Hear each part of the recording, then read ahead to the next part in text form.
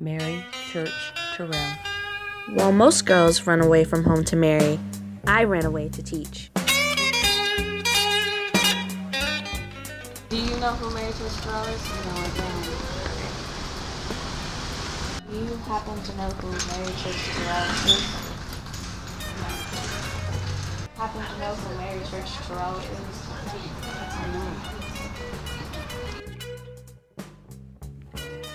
Mary Church Terrell was born September 23, 1863, in Memphis, Tennessee.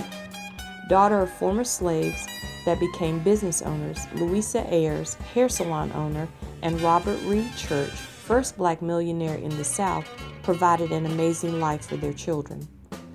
Mary Terrell attended Oberlin College in Ohio, and in 1884 she became one of the first African American women to earn a Bachelor of Arts degree in classical languages. Four years later, she earned her master's degree in education from Oberlin College as well.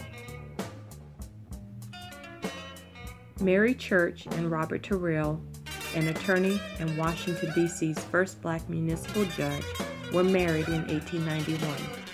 They started a family, however, the first three children died shortly after birth. Mary Church Terrell was a phenomenal woman that accomplished so much for black women and black people. She became a teacher at Dunbar High School, where she taught Latin.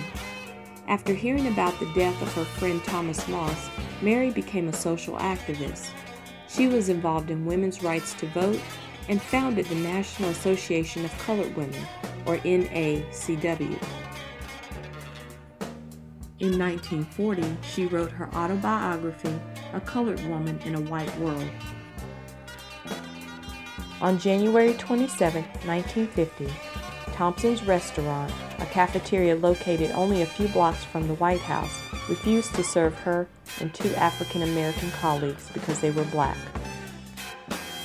Without the help of the NAACP, Mary Terrell continued to organize with lawyers and activists to pursue justice. She filed a lawsuit against the restaurant.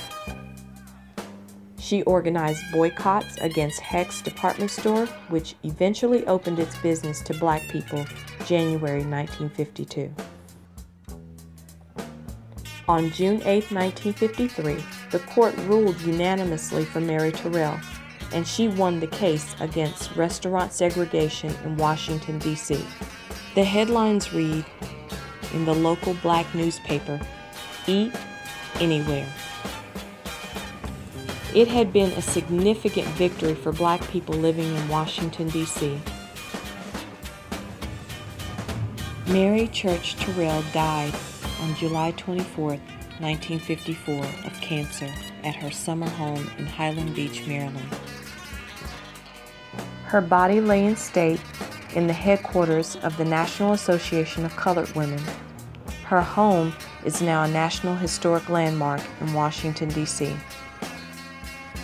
An extraordinary woman with a divine purpose, she forged the trail for all black women that aspire to go to college then and now.